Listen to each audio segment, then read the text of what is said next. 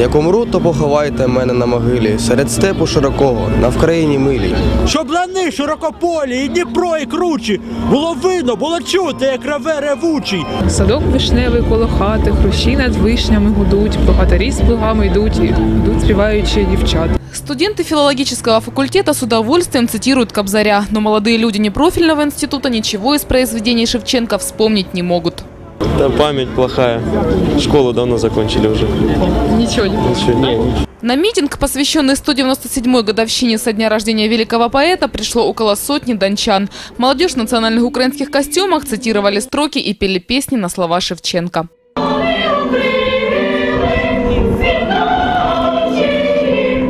Почтить память великого украинца пришли и первые лица области и города. По их словам, личность Тараса Шевченко стала определенным символом Украины. Благодаря его поэзии и картинам о стране узнали далеко за ее пределами. Чиновники уверены, что выполняют заповедь великого Кобзаря, помнят о нем и чтят независимость Украины. ми е, мали державу, то ми повинні працювати на цю державу. І не так, як деякі кажуть там, що ви своє, а ми своє. Такого ніколи не буде. Коли ми будемо тільки разом, тоді ми щось зможемо зробити. Как оказалось, с творчеством Кобзаря донецкие руководители знакомы. Андрей Шишацкий процитировал отрывок из поэмы «Сон».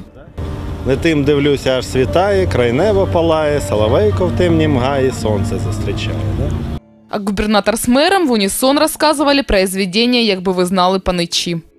Для кого в світі живете?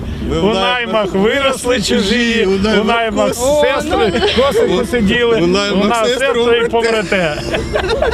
В библиотеке имени Крупской создан музей имени Шевченко. Именно в эти дни здесь ожидают особенный наплыв посетителей. Среди экспонатов представлены издания Кобзаря разных лет. Журнал «Основа» с стихотворениями Тараса Григорьевича вышел еще при его жизни. Также культуроведы установили некоторые связи Шевченко с Донецким краем. І на території нашої області живуть його нащадки. Е, Його правнучка живе у Вуглегірську. Є у нас е, в ботанічному саду є Шевченків сад, де зберігаються рослини, які згадувалися в творчості Тараса Григоровича.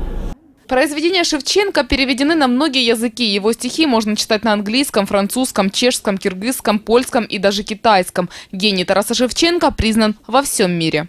Шевченко актуален и сейчас. Культурологи говорят, что многие темы его произведений остаются злободневными до сих пор. А Донецк интересуется творчеством великого Кобзаря не меньше, чем другие регионы Украины.